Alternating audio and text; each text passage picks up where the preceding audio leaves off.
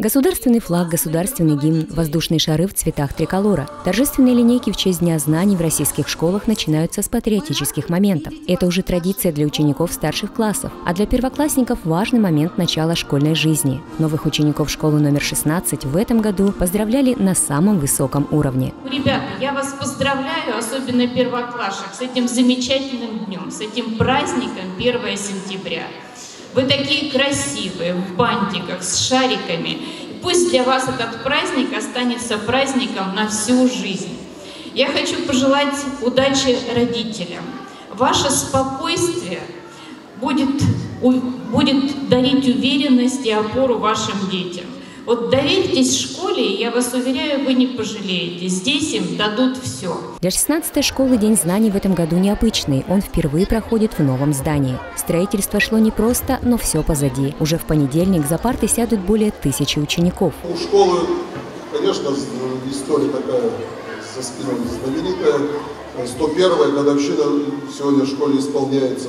100 лет в другом корпусе обучения шло Сегодня 1, 1 сентября, когда вот в стены, я не побоюсь этого слова сказать, мы э, с начальником управления образования обошли всю школу, посмотрели, это просто храм знаний. Хочу отдельно поблагодарить педагогический состав за те результаты, которые достигают наши дети. Слова благодарности за терпение родителям. Дорогие друзья, с праздником! С Днем Знаний! Пусть учебный год Копейска будет прекрасным!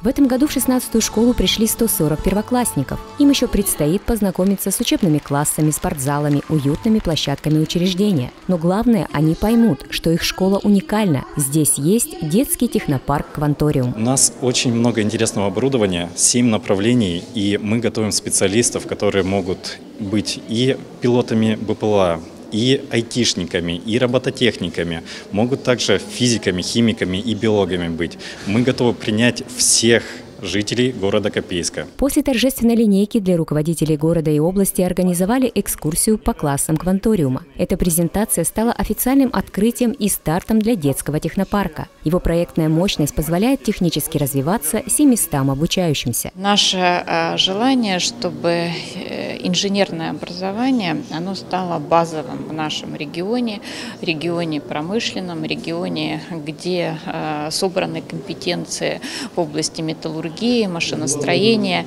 И с одной стороны это традиция, а с другой стороны это та уникальность, которая позволит нам развиваться, совершенствоваться и создавать то новое, что будет первым в мире. Детские технопарки создаются в рамках федерального проекта «Успех каждого ребенка» нацпроекта образования. Такие лестницы от школы до предприятия уже созданы в крупных городах региона. В ближайшем будущем они появятся и в муниципальных районах. Губернатор поставил задачу удвоить их число для того, чтобы возможности развиваться были у всех южноуральских детей.